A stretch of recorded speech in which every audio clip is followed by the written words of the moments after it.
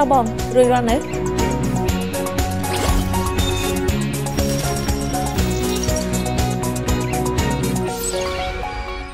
ជំរាបសួរបងធីរីចន្ទថាប៊ីនបាទជំរាបសួរដឹងអត់ថាខ្ញុំក៏ជាអ្នកគ្រប់គ្រងបងម្នាក់ដែរហើយរហូតធ្លាប់តែឃើញនៅក្នុងទូរទស្សន៍ថ្ងៃនេះមានឱកាសមកជួបផ្ទាល់ចង់មានសំណួរខ្លះៗសួរទៅកាន់បងព្រមអត់បាទព្រមសួរអេសួរមកបើបងឆ្លើយបានចាំបងឆ្លើយអឺតើកន្លងមកការប្រកួតមួយណាដែលបងគិតថាចាំអត់ភ្លេចជាងគេ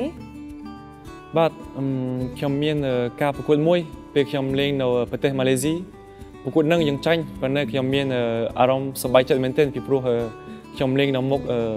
100,000 fan បាទចាព្រោះថ្ងៃយើងទាំងអស់គ្នាសុទ្ធតែដឹងហើយថាបងមានអាជីពជាកីឡាករបាល់ទាត់ប៉ុន្តែបងអាចប្រាប់បន្តិចបានអត់ថាក្រៅពីអាជីពមួយហ្នឹងបងមានធ្វើអីផ្សេងទៀតអត់ដូចជាមានការងារក្រៅម៉ោងផ្សេងផ្សេងៗបាទក្រៅពីកីឡាករបាល់ទាត់ខ្ញុំជាតារា model និងអឺ brand ambassador ផងដែរបាទ តាមស្ដាប់បងទៅដូចជារវល់ជាមួយនឹងការងារខ្លាំងមែនតើតែសុខភាពរបស់បងមើលទៅនៅតែល្អអញ្ចឹងតើបងអាចចែករំលែកគន្លឹះដែលធ្វើឲ្យសុខភាពរបស់បងកាន់តែប្រសើរឡើងជារៀងរាល់ថ្ងៃបានអត់បាទអឺរាល់ថ្ងៃខ្ញុំអឺទម្លាប់គេង8ម៉ោង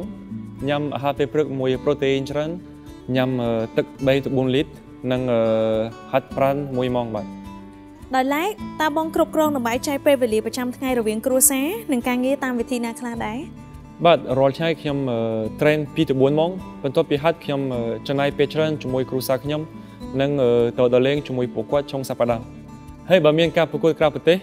រាល់ថ្ងៃខ្ញុំដឹងតាកលមកពួកគាត់អញ្ចឹងរាល់ពេលដែលខ្ញុំមានការប្រកួតបាល់ខ្ញុំអាចយកចិត្តទុកដាក់និង focus ជាមួយការប្រកួតតែមួយគត់តើអ្វីជាដំបូងមានហេរញ្ញវត្ថុល្អបំផុតដែលបងគិតថាអាចជួយឲ្យជីវិតរបស់បងកាន់តែប្រសើរឡើងជារៀងរាល់ថ្ងៃអឺចំពោះខ្ញុំរាល់ពេលដែលខ្ញុំរកបាន គឺខ្ញុំចាយប្រហែល40%និង60%ទៀតគឺខ្ញុំសន្សំទុកឬទៀងទាទៀងដីនិងទៀងកញ្ចប់ការពារក្នុងករណីមានអ្វីកើតឡើងដោយសារខ្ញុំមានកូនខ្ញុំត្រូវការប្រកួតតែអនាគតគ្រួសារខ្ញុំត្រូវបានធានានិងការពារ